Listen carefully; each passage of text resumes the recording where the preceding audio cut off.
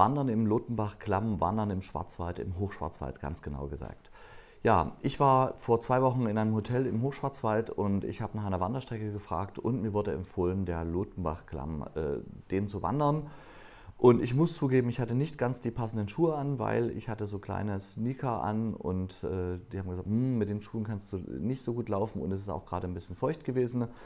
Aber ich bin dann trotzdem damit gelaufen und ich will sagen, vorher schon mal das schon mal gespoilert. Es geht, aber es ist vielleicht trotzdem nicht ganz ideal. Also ich empfehle euch allen lieber Wanderschuhe zu nehmen, weil die Wege können doch recht glitschig sein auf den Steinen, wenn es gerade geregnet hat.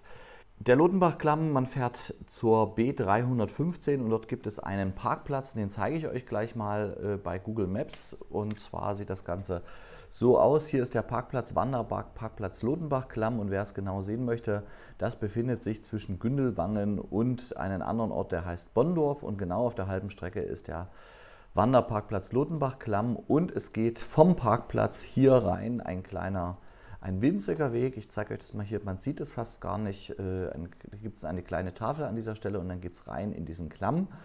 Und man wandert diesen Klamm dann entlang bis, zum, bis zur Wutanschlucht.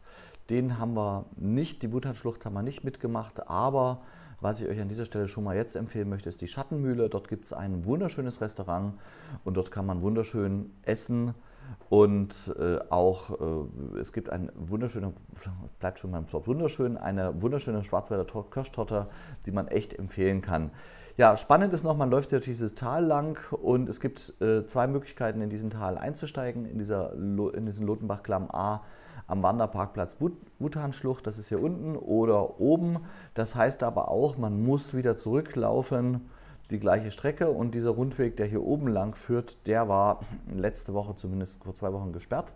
Das heißt, wir mussten hin und zurück die gleiche Strecke wählen. Ja, was ist das Besondere daran? Man läuft durch ein Flusstal. Die Wege sind so, dass man, äh, oder durch eine kleine Klamm, wie man es so schön genau sagt, die Wege sind sehr schmal.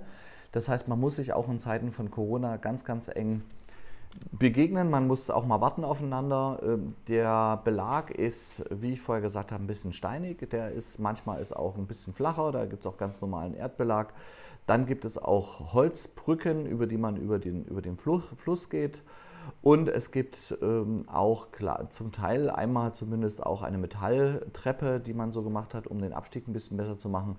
Das heißt ganz gemischt, aber in, in der Regel finde ich gut wanderbar. Allerdings haben wir auch zwei, drei Leute getroffen, deshalb war ich ein bisschen nervös, die vorher gesagt haben, nein, durch, den, durch die glitschigen Steine laufen sie den Weg nicht, sie haben nicht das richtige Schuhwerk an. Also trotzdem nochmal der Hinweis, vorsichtig laufen und wenn man nicht die richtigen Schuhe hat, vielleicht dann doch lieber warten, bis man die richtigen Schuhe mit hat. Ähm, bei mir, wie gesagt, ging es, ich habe die Kamera mit dabei gehabt, wir zeigen euch ja Bilder, es gibt wunderschöne Wasserfälle zwischendurch, es gibt ähm, sehr einsame Wege, und das Ganze läuft man in 35 Minuten. Und wenn man also vom Parkplatz, wie ich es euch gezeigt habe, läuft, dann wieder zurückläuft, ist man halt ungefähr eine Stunde und zehn Minuten unterwegs. Das heißt, das Ganze noch angereichert durch, einen schönen Schwarzwälder Kosch, durch eine schöne Schwarzwälder Kirschtorte, die man gefühlt nicht ablaufen kann während dieser Zeit.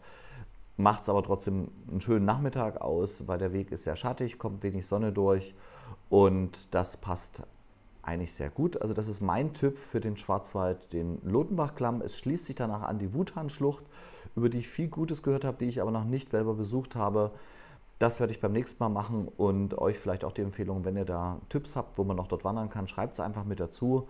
Ich finde diesen Weg sehr, sehr schön und es ist jetzt auch für Einsteiger bei schönem Wetter ist es angenehm mit 35 Minuten Weg.